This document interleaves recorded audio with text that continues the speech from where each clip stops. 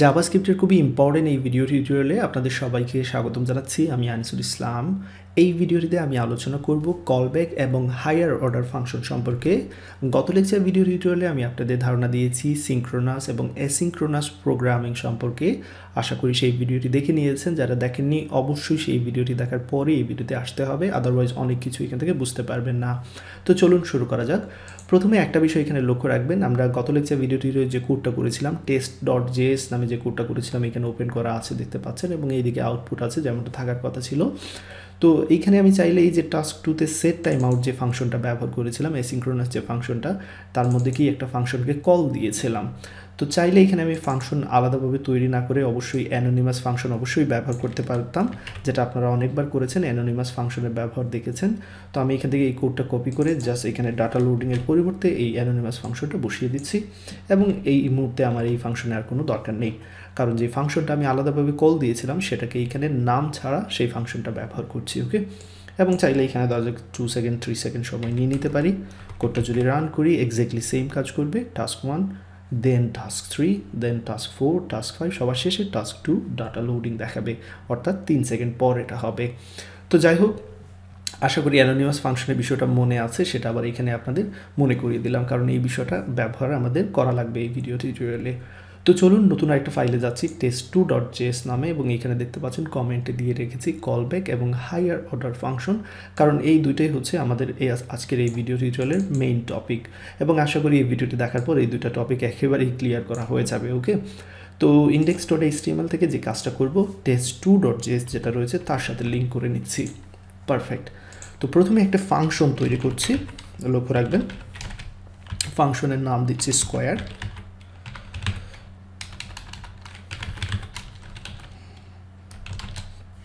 এবং এই ফাংশনটি একটি প্যারামিটার রিসিভ করবে, ধরা যাক এক্স এবং সে যে কাজটা করবে এখানে মূলত,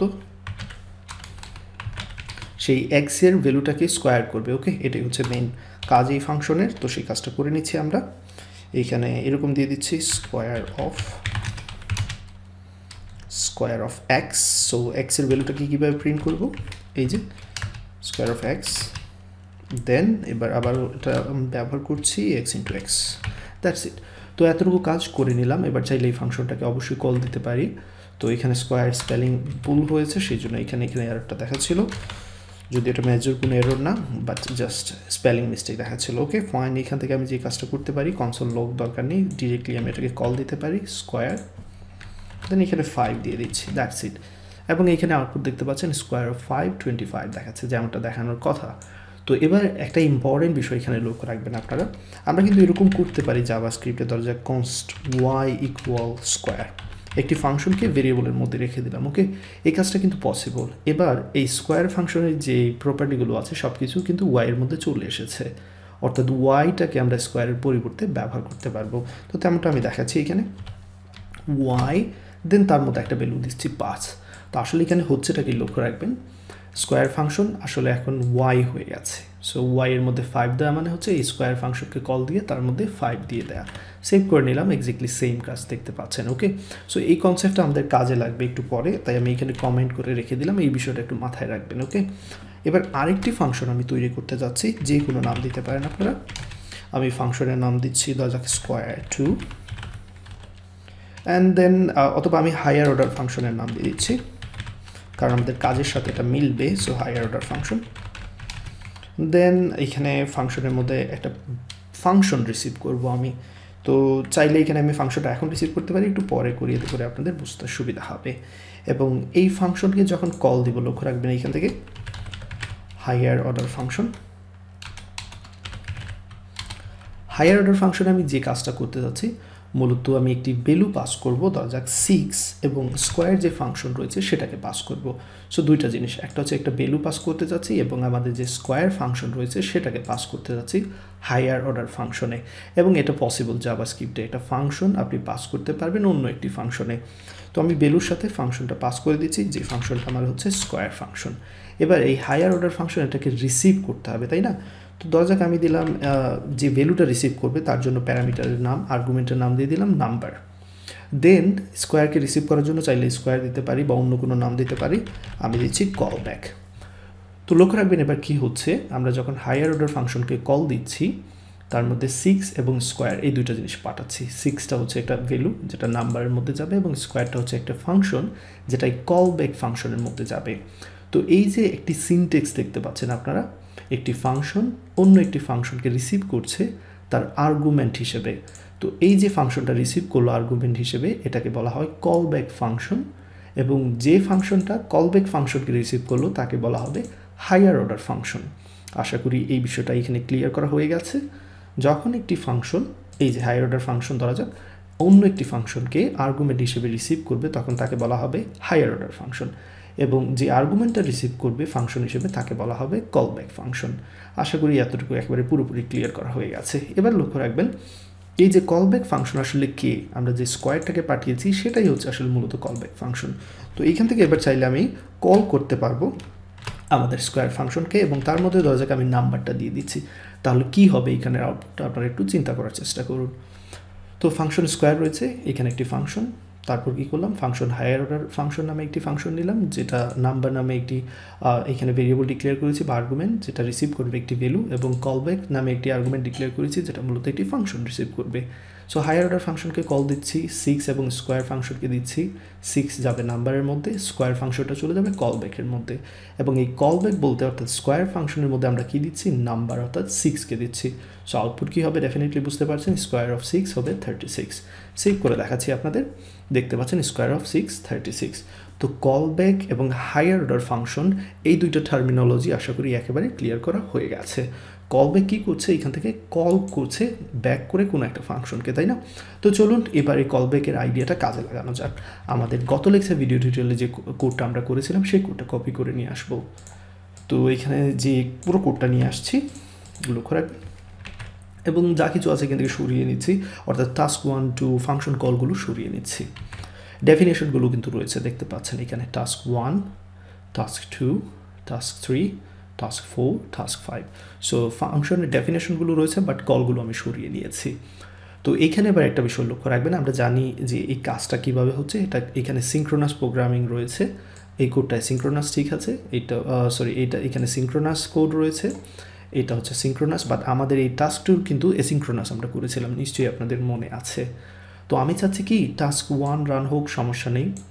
টাস্ক টু যখন তিন সেকেন্ড সময় নেবে, ধরা যাক ডাটা লোড হচ্ছে কোনো একটা এপিআই থেকে, তখন আমি চাচ্ছি মূলত অন্যান্য কাজগুলো যাতে থেমে থাকে।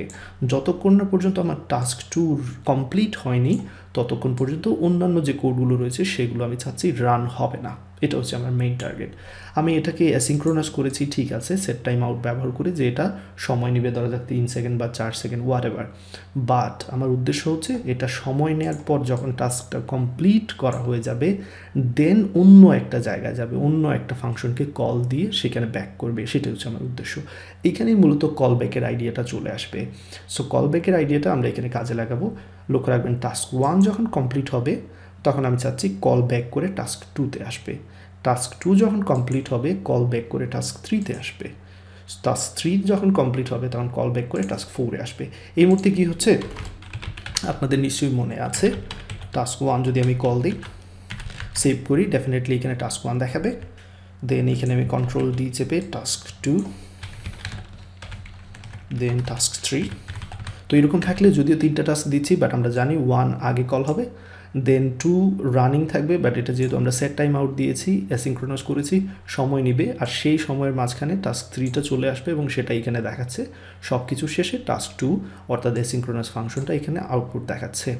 তো আমার উদ্দেশ্য হচ্ছে, আমরা জানি যে টাস্ক টু সময় নিবে, তো আমার এবারের উদ্দেশ্য হচ্ছে, যতক্ষণ না কমপ্লিট হবে টাস্ক টু ততক্ষণ পর্যন্ত টাস্ক থ্রি যাতে রান না হয়, অর্থাৎ পরবর্তী স্টেটমেন্টগুলো যাতে রান না হয়। তো সেটা আবার কীভাবে করতে সেটা দেখাচ্ছি। টাস্ক ওয়ান কল দিচ্ছি, লক্ষ্য রাখবেন। এবং এইখানে আমি কি করব? টাস্ক ওয়ানে যাচ্ছি, লক্ষ্য রাখবেন। এতটুকু পর্যন্ত যদি আমি রান করি, তাহলে টাস্ক ওয়ানে যাচ্ছে। টাস্ক ওয়ান থেকে ব্যাক করব আমি কল ব্যাক এইখান থেকে আমি ব্যাক করব। তো এই যে টাস্ক ওয়ান থেকে কল ব্যাক করব, তাহলে ডেফিনেটলি এইখানে এই কল ব্যাকটাকে আমাকে পাস করতে হবে। এবং এই যে কল ব্যাকটা আসলে যেটা আমি পাস করছি, এটা আসলে কি? সেটা আমি এখানে দেখাচ্ছি। সেটা হচ্ছে একটি ফাংশন যেহেতু আমি বলেছি এখান থেকে একটা ফাংশনকে কল দিচ্ছি ব্যাক করছি। ফাংশনের নাম যে কোনো কিছু দিতে পারেন, আমি এফ ওয়ান দিচ্ছি। এবং এই ফাংশন কলব্যাকের ফাংশনটা কি? এই কলব্যাকের ফাংশনটা হচ্ছে, এবার সে কী করবে? কাজটা হচ্ছে টাস্ক টুতে টুকে সে কল দিবে। দ্যাটস ইট সেভ করে নিলাম। লক্ষ্য রাখবেন রান করেছি। টাস্ক ওয়ান যখন কমপ্লিট করা হয়েছে, তখন কি করেছি? আমরা একটি কল ব্যাক ফাংশন কল দিয়েছি এবং সেই কল ব্যাকে কী কাজ সেটা কিন্তু বলে দিয়েছি। টাস্ক ওয়ান কমপ্লিট হওয়ার পর টাস্ক টুকে কমপ্লিট দেবে। এবার এক্স্যাক্টলি সেম ওয়েতে আমরা টাস্ক টু যখন কাজ শেষ হবে, অর্থাৎ টাস্ক টু ডাটা লোডিং এই কাজটা যখন শেষ হয়ে যাবে, এইখান থেকে আরেকটা কল ব্যাক দেব। ওকে আরেকটা ফাংশনকে আমি কল দিব। এবং যেহেতু এখানে কল ব্যাক রিসিভ করেছি, এই নাম ব্যবহার করেছি তাহলে এখানে এই প্যারামিটারটা বসিয়ে দিতে হবে, ফাংশনের নামটা। এবার এই ফাংশনের কাজটা কি, সেটা ডেফিনেটলি এখানে বলে দিতে হবে। এই যে টাস্ক টু এর মধ্যে, যেহেতু টাস্ক টু এর মধ্যে আমরা একটা ফাংশন পাস করেছি সো সেই ফাংশনের কাজটা কি, এখানে এবার সেটা ডিক্লেয়ার করে দিই। ফাংশনের চাইলে একটা নাম দিতে পারি, আবার চাইলে এটাকে অ্যানোনিমাস ফাংশন হিসেবে আমরা ডিক্লেয়ার করতে পারি। তো আমি আপাতত ফাংশনের নাম দিয়ে দিচ্ছি, পরবর্তীতে এগুলো চেঞ্জ করে নেব ওকে ফাংশন এফ টু নামে একটি ফাংশন নিচ্ছি। এবার এই ফাংশনের কাজটাকে এখানে বলে দেবো এটা কী করবে? টাস্ক থ্রিকে কল করবে। দ্যাটস ইট এবার যদি আমি সেভ করি, লক্ষ্য রাখবেন টাস্ক ওয়ান যখন কমপ্লিট হবে টাস্ক টু কমপ্লিট হয়েছে দেন টাস্ক থ্রি দেখাচ্ছে। আগের মতো কিন্তু কাজ করছে না। কেন? টাস্ক ওয়ান কমপ্লিট হওয়ার পর কার কাকে আমি কল দিচ্ছি? কলব্যাক ফাংশনে আমি কলব্যাক ফাংশনের মধ্যে টাস্ক টুকে কল দিচ্ছি। আবার টাস্ক টুতে আমরা যখন যাচ্ছি এইখানে কলব্যাক করছে। এবং কল কলব্যাকের মাধ্যমে এখানে আসছি। আসার পর কি হচ্ছে? টাস্ক থ্রিকে কল দিচ্ছে। যদিও টাস্ক টু কিন্তু সময় নিয়েছে, সেটা আপনি নিশ্চয়ই খেয়াল করেছেন। আবার রান করে দেখাচ্ছি, এইদিকে লক্ষ্য রাখবেন। টাস্ক ওয়ান টাস্ক টু এর জন্য সময় নিচ্ছে বা টাস্ক থ্রি কিন্তু কাজ করেনি। আনটিল টাস্ক টু ডান হয়নি যতক্ষণ পর্যন্ত। তো আশা করি এই কলব্যাকের ব্যবহারটা এখান থেকে নিশ্চয়ই বুঝতে পেরেছেন। চাইলে এবার অন্যান্যগুলোকেও আমি এখানে কলব্যাক করতে পারি। ফাংশন ধরা যাক এফ থ্রি এফ থ্রি কোনো প্যারামিটার দেওয়ার দরকার নেই। টাস্ক থ্রি যখন কমপ্লিট হবে, তখন টাস্ক ফোর কল হবে। এক্স্যাক্টলি সেম আরেকটি কলব্যাক ফাংশন এখানে পাস করতে পারি। টাস্ক ফোর যখন কমপ্লিট হবে টাস্ক ফাইভ কল হবে। দ্যাটস ইট ফাইভের মধ্যে আর দেওয়ার দরকার নেই, কারণ আমার এখানে পাঁচটি টাস্কই রয়েছে। তো এখানে যেহেতু কলব্যাক কলব্যাক সবাই রিসিভ করবে সো ফাংশন যেহেতু রিসিভ করবে, সেক্ষেত্রে এখান থেকে কাজ শেষে ফাংশনকে কল দিতে হবে। কলব্যাক এখানে রিসিভ করব। অ্যান্ড দেন কলব্যাক ফাংশনটাকে কাজ শেষে কল দিতে হবে। দ্যাটস ইট সবার শেষেরটাতে আর কল ব্যাক ইউজ করার দরকার নেই, কারণ এটা আমাদের শেষের টাস্ক যেমনটা আমরা জানি। সো লক্ষ্য রাখবেন এখানে আউটপুট দেখাচ্ছি task one task two task three task four task five so আমাদের সেট টাইম আউট ফাংশন ব্যবহার করা সত্ত্বেও কিন্তু আমরা কাজ শেষ হওয়ার পর মূলত অন্যান্য টাস্কে মুভ করতে পেরেছি। সেটা নিশ্চয়ই আশা করি এখান থেকে বুঝতে পেরেছেন কল ব্যাক ফাংশনের কাজটা। তো এখানে আমি বলেছিলাম এগুলোকে অ্যানোনিমাস ফাংশন হিসেবে ডিক্লেয়ার করতে পারব, সেটা আমরা এখানে করে নিতে পারি। এতে করে আরও সিম্পলিফাই করা হবে কোডটা এখানে আমি দেখতে পাচ্ছেন অ্যানোনিমাস ফাংশন ব্যবহার করছি। আমরা জানি এখানে ফাংশনের নাম দেওয়ার দরকার নেই কিওয়ার্ড দেওয়ার দরকার নেই জাস্ট অ্যারো সিম্বলটা বসিয়ে দিচ্ছি। দ্যাটস ইট একটু খেয়াল রাখবেন। আশা করি এগুলো আপনারা আগেই, অনেক আগেই শিখেছেন। অ্যারো ফাংশনের ব্যাপার আমি অনেকবার আলোচনা করেছি। অ্যান্ড সবার শেষ এটা। দ্যাটস ইট শেষ। কোডটা আরও সিম্পলিফাই করা হয়ে গেল। তো এই ভিডিও টিউটোরিয়াল থেকে আশা করি কল ব্যাক এবং হাইয়ার অর্ডার ফাংশন সম্পর্কে আপনারা ধারণা লাভ করেছেন। আর এইখানে আরেকটা বিষয় আপনারা লক্ষ্য রাখবেন, আমরা যে ধরা যাক আমি এখানে ইভেন্ট লিসেনারগুলো ব্যবহার করি, আমরা যে ইভেন্ট হ্যান্ডেলারগুলো ব্যবহার করি এক্স্যাক্টলি সেম কাজ কিন্তু করে, সেটাও কিন্তু আমাদের অ্যাসিঙ্ক্রোনাস এই প্রোগ্রামিংয়ের কল ব্যাকের কাজটা এখানে হয়। আমি দেখাচ্ছি। ক্লিক মি তো টেস্ট টুতে চলে যাচ্ছি, এখানে দেখতে পাচ্ছেন ক্লিক মি বাটনটা দেখাচ্ছে। এবার সেই বাটনটাকে আমি ফাইন্ড করে নিচ্ছি, এখানে লক্ষ্য রাখবেন আপনারা। Document document query selector query selector মাধ্যমে বাটনকে আমি এখান থেকে সিলেক্ট করছি, তার সাথে একটা লিসেনার অ্যাড করে নিচ্ছি add event listener click listener add করে নিচ্ছি এবং যখনই লিসেনারটা কল ক্লিক করা হবে, তখনই মূলত একটি এই anonymous call back function call হবে। এইখানে ইম্পর্টেন্ট বিষয় লক্ষ্য রাখবেন। যতগুলো ইভেন্ট হ্যান্ডেলার রয়েছে সবার সাথে এরকমই আমরা ব্যবহার করেছি। যখনই কোনো একটা কাজ করা হবে ইভেন্ট হবে দেন কি হবে? একটি কল ব্যাক ফাংশন কল করা হবে। যতক্ষণ পর্যন্ত বাটনে ক্লিক করা হবে না, ততক্ষণ পর্যন্ত এই কল ব্যাক ফাংশন কিন্তু ইউজ করা হবে না। সো এইখানে আমরা চাইলে একটা জাস্ট একটা মেসেজ দিয়ে দিতে পারি।